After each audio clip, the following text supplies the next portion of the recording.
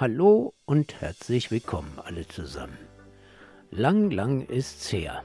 Schon Anfang der 1980er Jahre habe ich mich mit dem Commodore C64 beschäftigt, wie hier im Bild zu sehen, ein Video. Habe mich dann seit Anfang der 1990er Jahre mit den ersten PCs vertraut gemacht.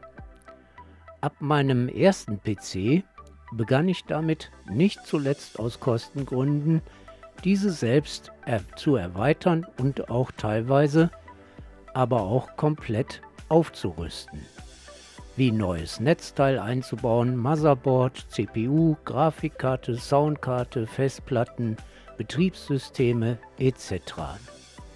Dabei habe ich bis zur Jahrhundertwende nicht nur für mich unzählig viele PCs und Prozessorgenerationen umgerüstet und Betriebssysteme installiert. Sechs Jahre betreibe ich nun schon meinen Intel i7 mit vier Kerne. Und nun habe ich gedacht, dass es mal an der Zeit ist, meinen PC aufzurüsten. Dazu habe ich mir, obwohl ich mehr ein Intel-Fan bin, aber nicht nur, dieses Mal einen AMD Ryzen 9 7950X Prozessor auf Rüstsatz zugelegt. Alle weiteren Daten dazu findet ihr unter dem Video mit dem Beschreibungstext und entsprechende Links. Und auch natürlich zu den Produkten die Links. Ja, ich weiß, diese CPU hat bereits eine Grafikkarte integriert. Nicht jeder ist davon Fan. Ich werde es erstmal ausprobieren, denn eine Grafikkarte kann ich ja immer noch einsetzen. Das Board in dem Kit ist jetzt auch nicht ein Spitzenboard, aber für meine Zwecke denke ich, ist es ausreichend. Auch einen schnellen 32 GB Arbeitsspeicher 2x16 GB DDR5-6400 habe ich in dem System verbaut. So, hier habe ich jetzt mal ein paar Fotos von meinem Umbau gemacht, äh, wie man so am besten vorgeht. Alle Kabel abtrennen, um das Board ausbauen zu können. Und hier eine besondere Stelle, da sind einzelne Steckerchen. Hm, da müsst ihr dann im Hand Motherboard-Handbuch darauf achten, dass ihr die auch wieder da richtig einsteckt. In dem neuen Board.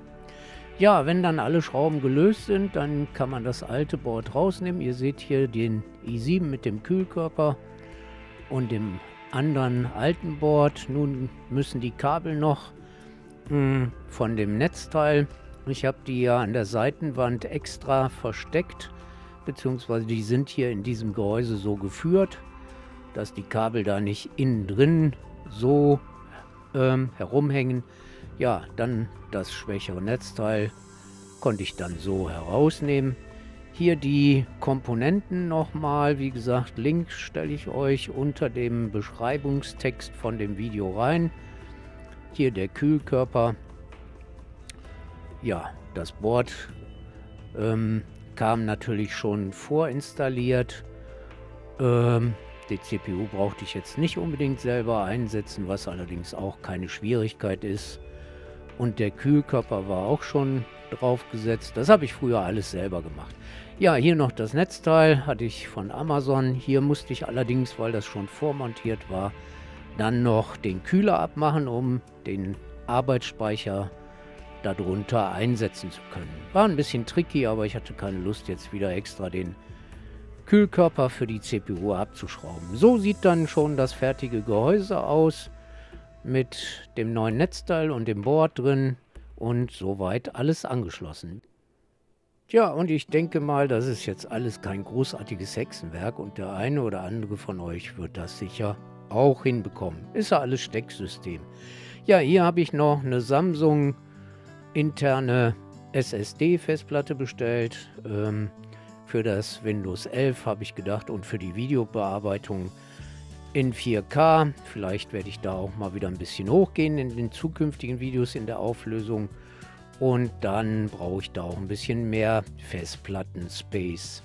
So, ich hoffe, das Video hat euch gefallen. Wie gesagt, hier noch der Screenshot von dem aktuellen Windows-System, hm, was es anzeigt, äh, was alles installiert ist, damit ihr auch seht, dass es funktioniert hat.